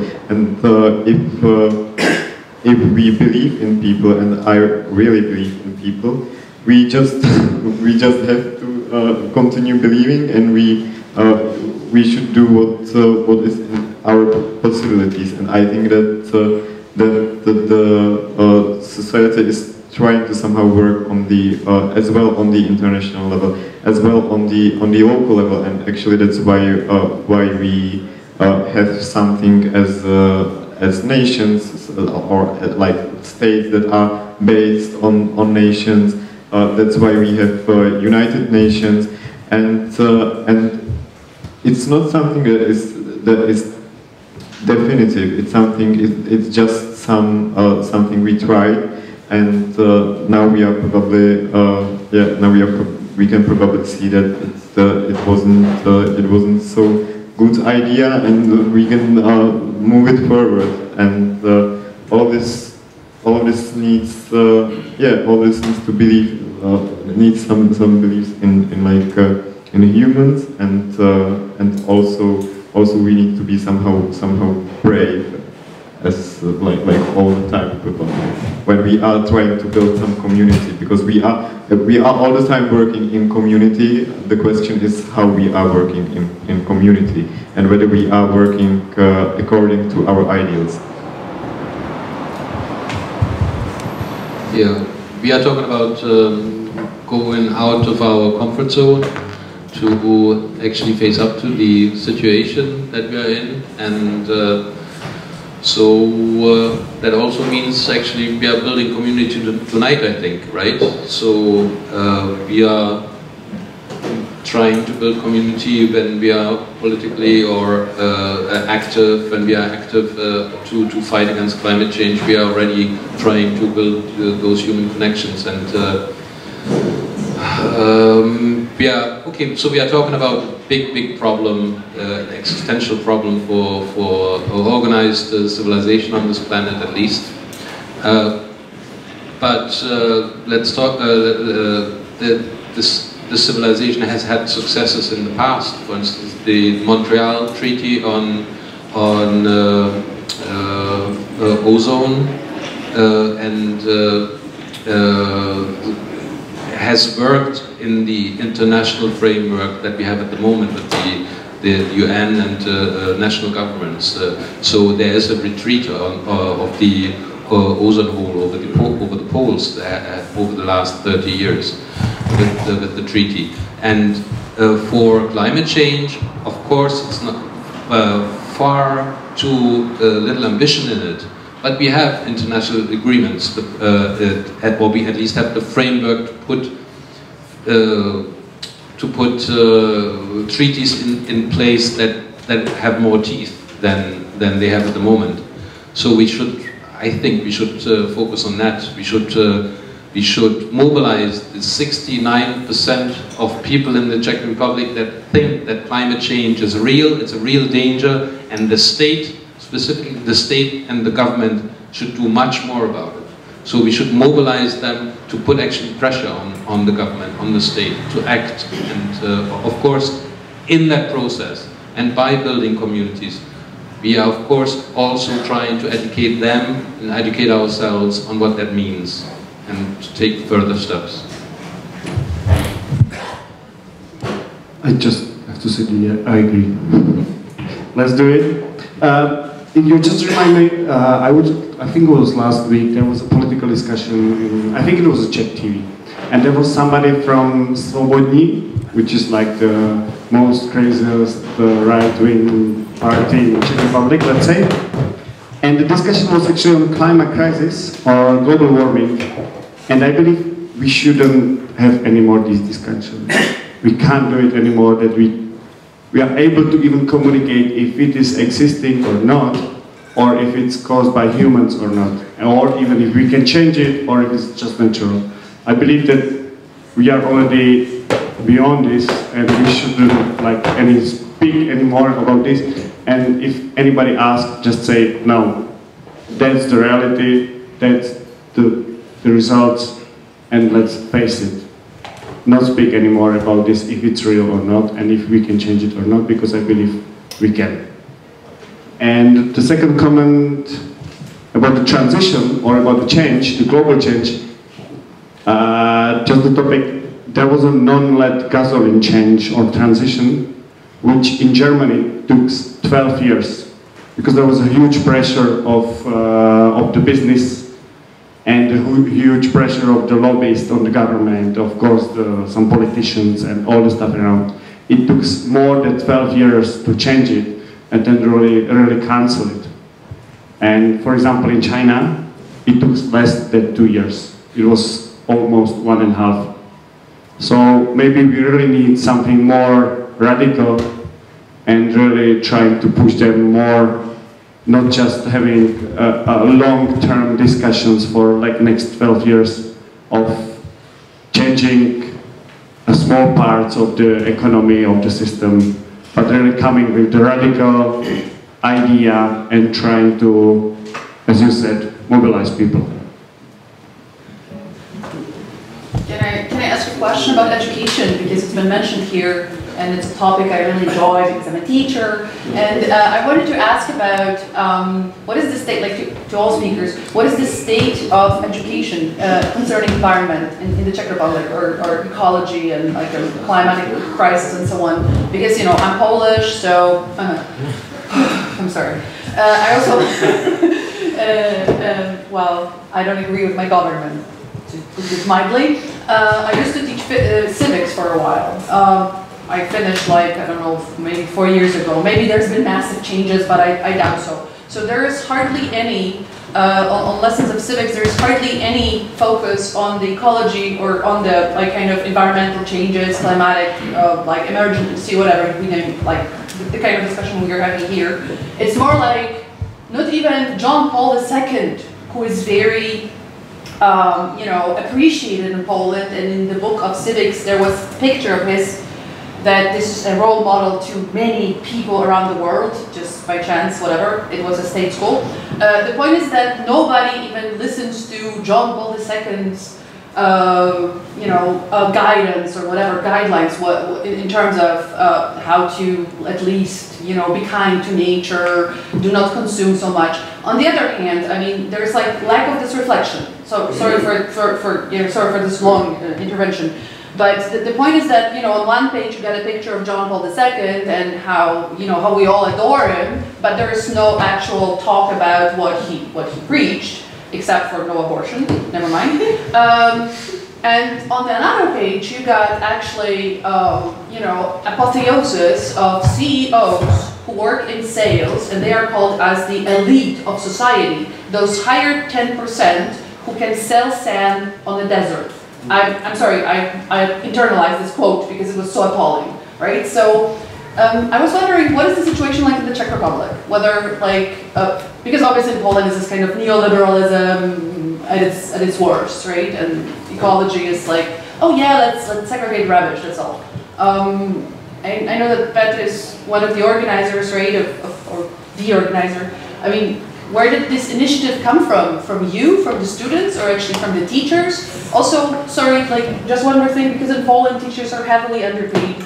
Uh, so I've heard they are here, but I think in Poland it's much worse. And therefore, most of the teachers, unfortunately, are not intelligentsia, because people do not have time to read, they have to have a lot of jobs, uh, so they don't care. Teachers usually don't care about the issue. And I was wondering, what is the story like here? Well, as a teacher by education, I would just super short comment. Yes, we're facing the similar or even the same problems with low payment and everything. And usually, like the uh, the let's call it, I wouldn't call it more intelligent, but more open professors or teachers are usually actually end up being in other businesses as managers or anything else because of the low low payment and everything else.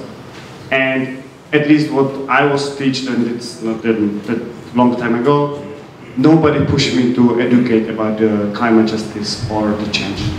I mean, if I want to, I can present to the students, but no, nobody said like that's the note which you should teach them this year, and you should say this and this. Like nobody did that.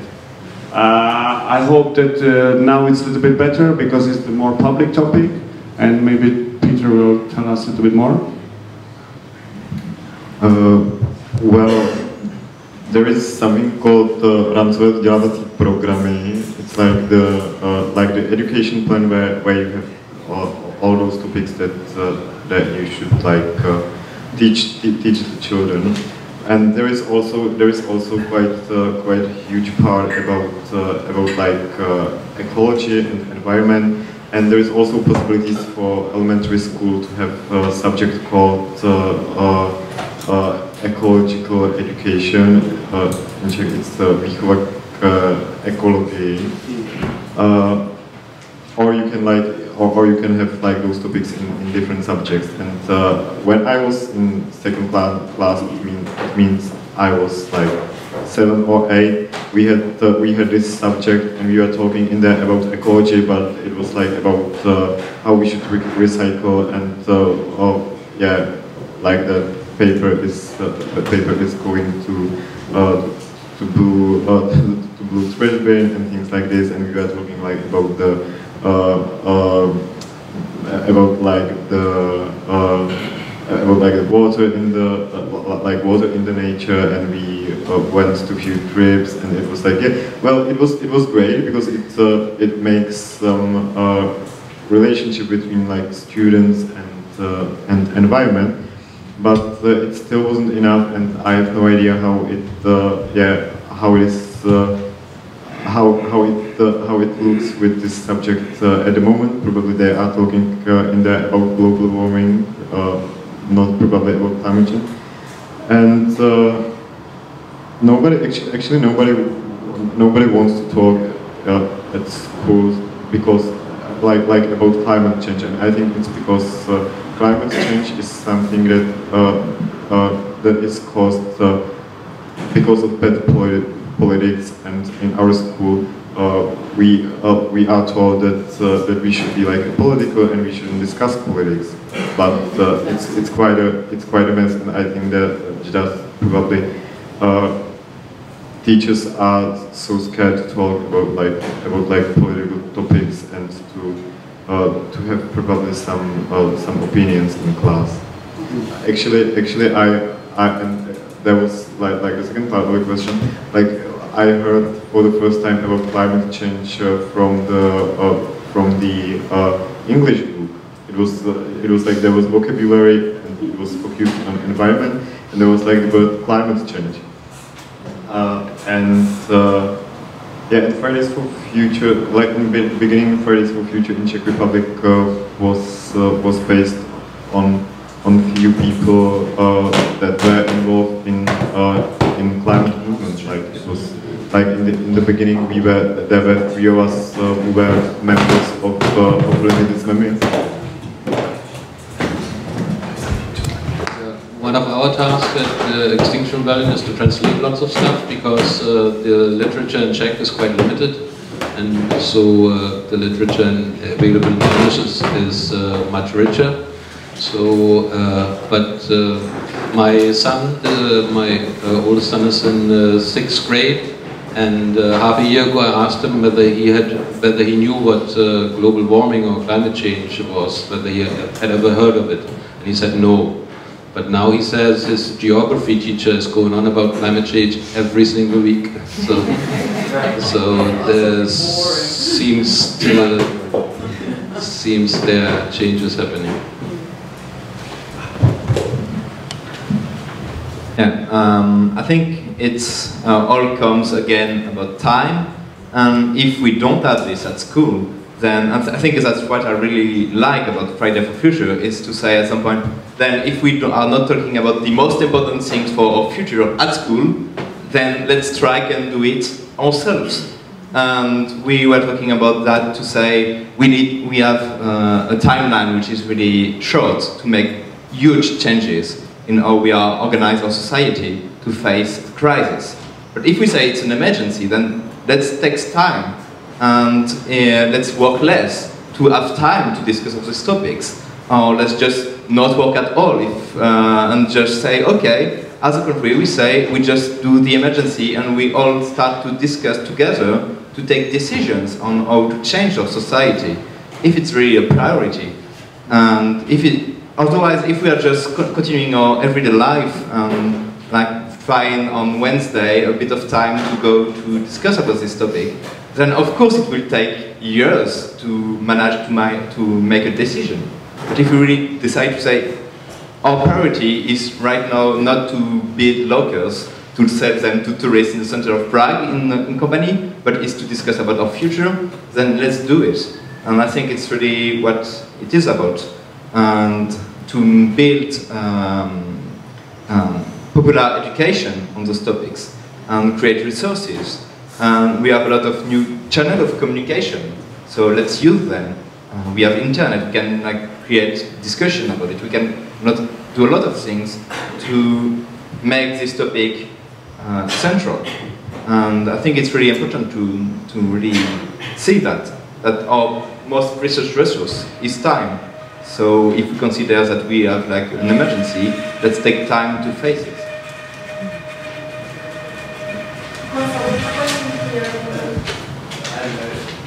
Can I just say something? Yeah, uh, um, you mentioned abortion, and it was uh, just um, once again mentioned here the reduction of uh, one children to, uh, to family. So I uh, just want to talk about feminism a little bit. Donna Haraway said that mm, the climate change is really uh, connected with overpopulation. You also said, said it, and uh, I think so. In the education, we have to stop teach girls that it's our own obligation to have children. And I don't, don't think that we have to do some strict uh, rules like only one children to family. I think that it's enough to leave freedom to women to decide if they want to have children or not. And then maybe it could solve it all. Yeah. Okay. Um, I, to your question, uh, before 20 years when I was on the school, I found some book about climate changes for kids and there were all the important uh, information. And I found it only because I did some uh, biologist Olympics or some, uh, something completely miraculous. But yeah, it's crazy that all the information was uh, 20 years ago here in one book for 10 year child, but we cannot do anything for this. It only gets worse. Maybe if I can just add quickly, like it's not a coincidence that the countries where climate change is not properly taught at school are the ones that are the least progressive on agreeing to the target. So it's a very important topic definitely to, to address and it's the only way forward, I think, if we want to do something. And yeah, we don't have much time, so we, hopefully some changes to the curriculum can happen quite soon. If I can pick up on this, because I understand that you represent an, NGO. Do you work with teachers, actually?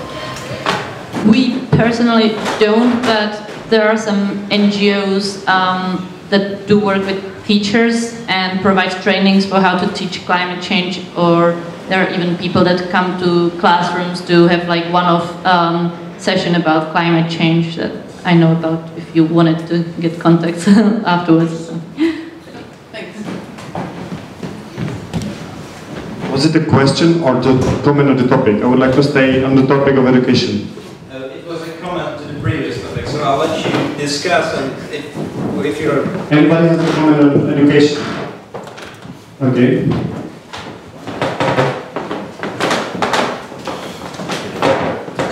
I'm studying in high school right now, and uh, uh, we were supposed to um, um, uh, talk about ecology um, um, in in June, uh, in the end of the school year, and but we didn't manage it because we were talking about genetics, and suddenly there was not enough time for ecology. So we like our teacher uh, of biologist said that uh, uh, if we want to pass uh, the final exams from biology, uh, we can study it at home. and she gave us some materials on the internet. And that's all. then we have then we have uh, our teacher chemistry uh, who says that uh, climate change doesn't exist, and that I'm a climate alarmist. So I think that uh, uh, the situation at uh, Czech high schools, I'm studying gymnasium, gymna- so, and I, I think it's not bad, bad school, but the situation with talking about climate change is, I don't know how to describe it. Uh, very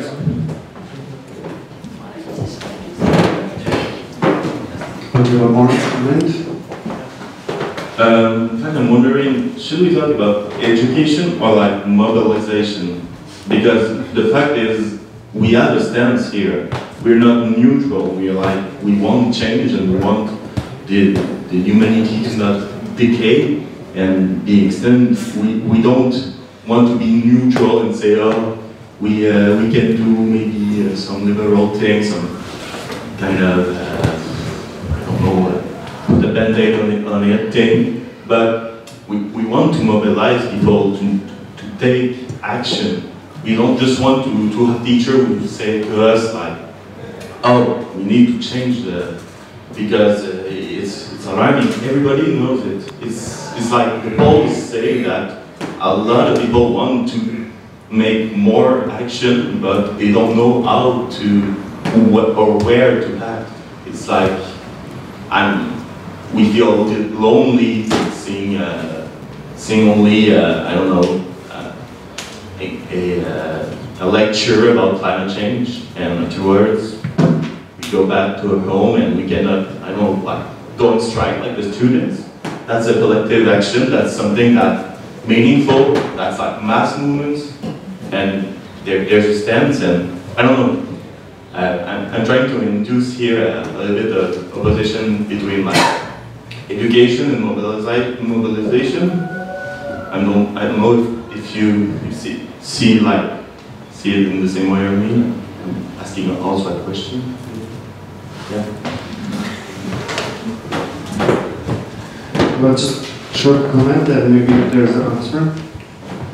Well, I didn't want to mention it, but I think in Czech Republic sometimes it's even worse because you probably heard about former president Václav Klaus and now his son with his new party.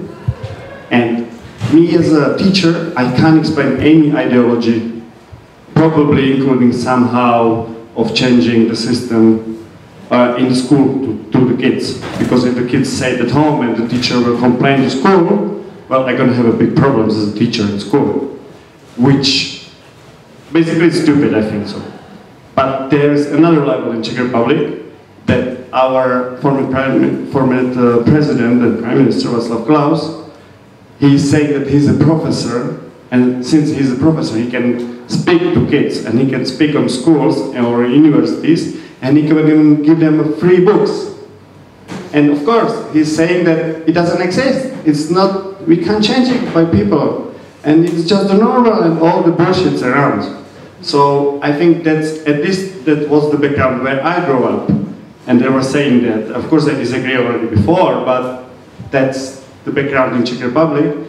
And so I really like the idea that we should fight even this in with our education, with the schools, with the teachers, and telling them, because there are some programs, as Peter mentioned, there are programs of education, but of course the school is kind of free to accept it or not, and the teacher can say, okay, I will do it or I will not do it, and it's really just volunteer. And I disagree with that, so I believe that we should try to push also on this level. And yeah. Well, I think the main problem is uh, in setting of the debate uh, on climate change in Czech Republic. Uh, because, uh, because in Western Europe and in a lot of another countries, the discussion is about how to solve climate crisis and how to reduce CO2 emissions. In Czech Republic, uh, the, the debate always was about the existence of climate change. And I think it is still a problem and we can, uh, like, we can meet climate deniers almost everywhere, but it's changing a lot and, uh, and the debate is moving forward and, uh, and it's something that, uh, that we are also, that we also have to fight with. For example, like, uh, two weeks ago I was invited uh, to one private uh, private Czech TV, uh, Prima it's called, and uh, I was invited into debate with with Ladislav Jakl. Ladislav, yeah. and, and he's like prime engineer and Nazi in the same time. And like, why should I discuss with uh, someone who denies the, the, science? Like, like we should, like I'm, I'm 17 years old, uh, old student, and I just cannot discuss science. And uh, and it's some problem with facts. Like some people, some people uh, like to uh, have uh, their own truth, and they just don't want to believe what what scientists are talking about. And actually, like in some way, I do understand it because because it's uh, yeah, it's I, I think it's for all of us it's uh, it's hard to accept the the climate crisis because it's something so terrible that uh, that I don't know when I first uh, when I first heard about climate change, it was just so strange and. Uh, uh, it was like so so terrible for me that I didn't want to believe uh, believe the climate crisis as well. Well, I think that uh, both uh, Klaus' father and his son are intelligent enough to actually know about the science about uh, climate change, and it's just a ploy. And this ploy and this, these lies about the state of the climate and our role in the climate in climate change uh, thrives on our passivity uh, uh, and on uh, on them given free rein to to go on with their lives. So this mass mobilization, for instance, against the current government actually airs uh, it airs uh, the true um, the, the, state of, of, uh, of, of, the mind of most people, or at least the most active people, and also the, puts the Klaus in a bind. Uh, he, he, was he had to apologize because he's threatened by this uh, by, this movement. So they are and and become again so this mobilization of people when they build communities when they mobilize they actually um, yeah there's no no no other option and no other uh, solution to to debate than actually come uh, coming up uh, at least a, little a little bit closer to to the truth. And uh, so we as uh, Extinction Rebellion in the Czech Republic at the moment, for instance, we are uh, still too small to to do what uh, uh, uh, Uh, our uh, co-rebels in, in Britain have, be, have been doing, but they, for instance, organized teachers, and they blocked, blockaded and protested at the Ministry of Education. And I think it's not only to educate kids and then wait till they grow, uh, grow up, but it's also about educating kids and these kids then educating their parents about the, the truth of climate change. And uh, uh in Britain, they have already uh, put pressure on the BBC and on other media to, to tell the truth, to move away from this charade of uh, climate, uh, climate debate. And that's something we, we are hoping to do very soon in Czech Republic too. Uh, just technical comment, uh, because we are kind of running out of time. So there was a two hours debate, so I would assume 10 minutes more or less, the last words, and then we can continue on non-official discussions with peers and all the stuff around. Here, here, keep waiting for quite a long time. It's more of a comment to the previous topic, um, which is linked to uh, you know the poor and uh, like who will pay for change itself. If oh, sorry, I'm not really experienced with microphones. Um, I think we've touched on an important topic uh, because from uh, from like countries who are the global south who are more impacted by the climate change and from uh, to the um, like profit-driven companies who said lobbyists lobby against uh, movements like these. It's really important, in my opinion, to think about if this uh, crisis is even possible or it's even solvable in uh, the free market environment driven by free market uh, motivations and rules. And I think this might come obvious to many of us here, but uh, yeah, it's just, to me, it kind of seems impossible because when you're like, when you're as an individual country try to uh, enforce policies uh, that, for example, limit your uh, usage and so on, so you're, you're putting yourself into a um, uh, disadvantage in comparison to others. And if um, if you're stuck in this kind of uh, mm, competitive uh, mindset, it might be near impossible to solve. I'm sorry I started uh, this, uh, it's like, I would call it last two questions or topics. Uh, I would like to enlarge the discussion a bit uh, because we were talking about uh, climate emergency, but also about climate justice. Uh, so, like the Green New Deal is proposed for Europe is proposing like a really specific economical solution, which are connected with uh, uh, Central Europe Bank and stuff. But I'm also interested, as you're part of this um, environmental group, um, uh, well, but the problem is global. So I'm really interested uh, if you think like your groups should be also like interested how we should push the top pollu polluters in the world like to change their approach, their ways. And I think it's also like important to not only think about Europe, but like worldwide because I don't think that Europe can like uh, change everything. Uh, and the other, on the other hand, like uh, it seems to me like really like the top responsibility of us who are kind of aware, like to come with these ideas and discuss them kind of uh, now, so we can like uh, have some proposal for governments which are not really like acting right now.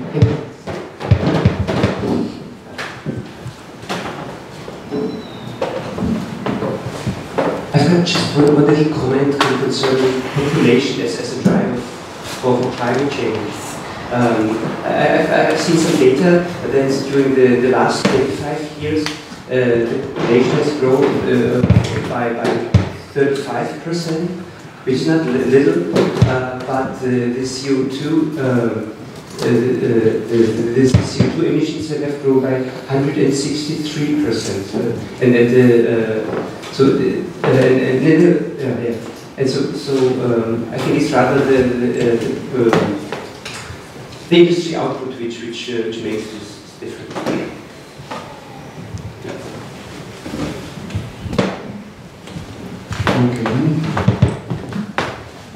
So I have an idea because we are running out of time that uh, we will make a comment of the, on these three comments, and if you can make like a last ideas or if you have anything else to say from the panelists, so feel free to say it. So who wants to start? I will start from this side right now. Okay. Uh, yeah, okay. Um, climate uh, camp, Klima Camp is starting right now. You should definitely go if you have the time. Uh, if you don't have the time, uh, at least come for the weekend. right? Uh, and uh, then there are two slow months in the Czech Republic, uh, July and August, where not much is happening, but you can still do something in your community and your your and then in in September there are some big dates coming up. It's uh, September 20th. Uh, the Fridays for Future has called for a global uh, climate strike, and then in uh, October, uh, Extinction Rebellion wants to do an international rebellion with blockading, blocking um, massive civil disobedience across the globe, where they are. So uh, be prepared and uh, yeah, keep going. Shall we shall we comment the, the question? Yes, yes. Well, I just I just wanted to, like in addition to uh, to debate about uh, overpopulation, like we could see see here the, uh, the diagram of uh, of how uh, yeah like CO2 emissions per person and, and, and that it's uh, somehow about the wealthy. and uh, and it seems like like I think it it clearly shows that that the problem is not so so much with overpopulation as uh, with overconsumption. Uh, simply, uh, it's not about uh, how many people are living in here, or it's not like the, the main issue. Uh, the thing is how how we are living in here, like uh, like how we are how we are behaving, and and how and especially how how the richest and the, the biggest uh, uh, producers are behaving. Uh, like in conclusion, like I just remembered for like when we uh, when we were like discussing the, the changes and uh, and the policies and the political parties, I just uh, I just wanted to remember you that uh, that for example Greta Thunberg in, in Sweden she's striking against government that is made by social democrats and by Greens. And uh, I remembered for one quote uh, from uh, Nadezhda Tolokonnikova from Pussy, from, from Pussy Riot, and uh, she said that uh, uh, even even the ideal president or politicians won't bring you anything. If you want something and if you want to change the place where you are living somehow, you have to go and you have to take it. And that's why all of us should join the climate movement and participate in the, in uh, the activities uh, that uh, have been mentioned here. And uh, for the very end, when like I uh, uh, when I was already quoting and when we were debating about Václav Klaus, I want to I want to yeah, I, I, want to tell you one quote from Václav Klaus that is about climate change, and he said, "We lost."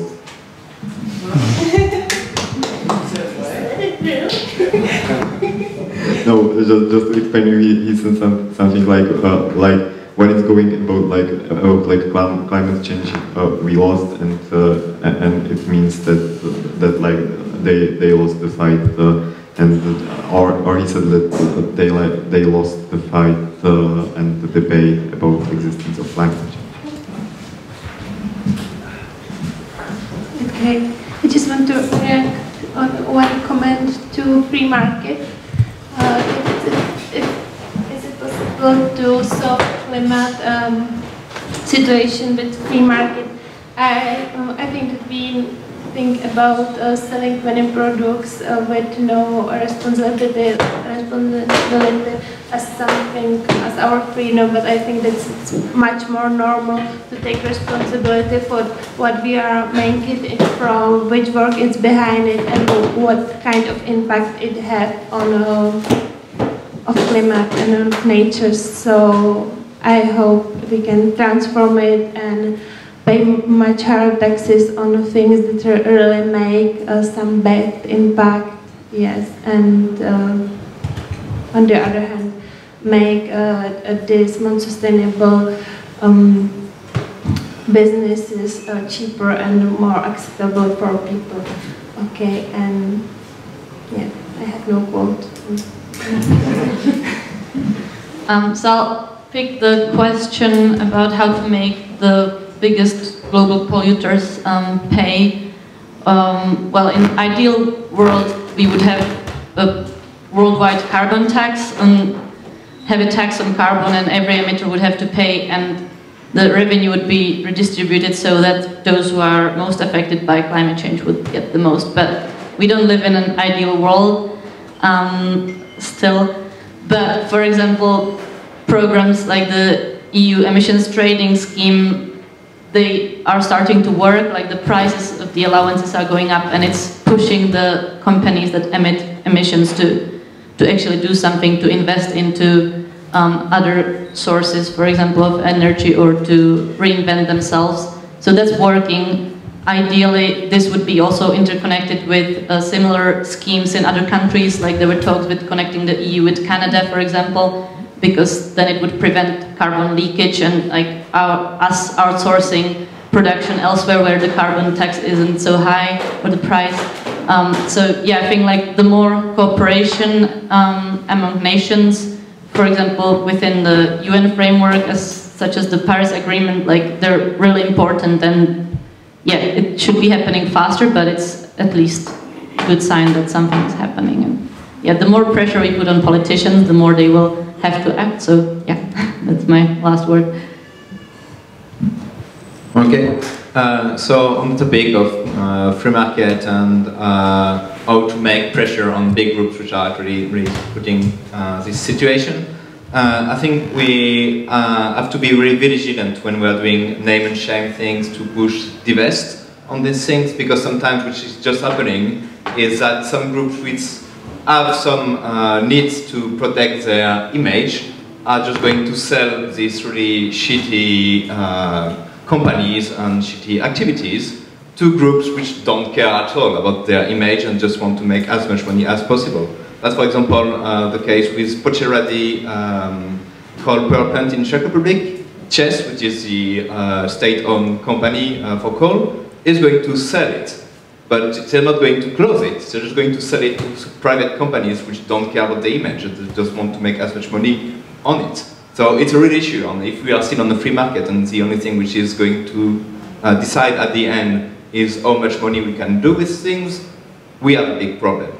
Um, but uh, I think it's really important to remember we can't put uh, our own uh, private right to invest or to consume things are always uh, more important than the common interest.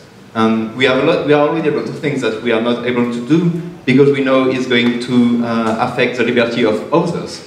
So it's really, and people are able to understand that, and I think it's really important to uh, emphasize that when we are trying to push to make changes and to make um, uh, phase out of uh, industry which are really polluting and destroying uh, the liberty of others to live in a sustainable world. And uh, that's, mm, yeah, that's going to be it for this question. And, um, and yeah, and you're always welcome to uh, join Climate Camp to discuss furthermore uh, about all the topics. And uh, if you need more information about it, uh, you can just uh, come to me and I will be able to uh, provide it.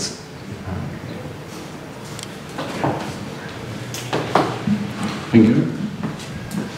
Uh, short comment on Green New Deal. Uh, since we are really ambitious, we have a global Green New Deal for whole planet. We have a Green New Deal for Europe, and we are also planning to make a Green New Deal for local activities, as from the small places in your garden till the country. Uh, I would like to invite you on our webpage, which is Green New Deal, because we have much more pillars and we could have a, another two hours of discussion, so maybe next time. We haven't mentioned uh, fighting inequalities, the job guarantees, and many other programs or ideas which we would like to present and we would like to ask you to support or to join us. And, uh, well, the quote, I always like to finish the positive way, so I believe we haven't lost. I have to say thank you for your questions, thank you for your attending, and especially for the panelists and the organizers from the DiEM25. I believe it was a success because I see a lot of rebels, leaders, organizations, and if we work together, I believe we can still change it. So thank you so much for coming.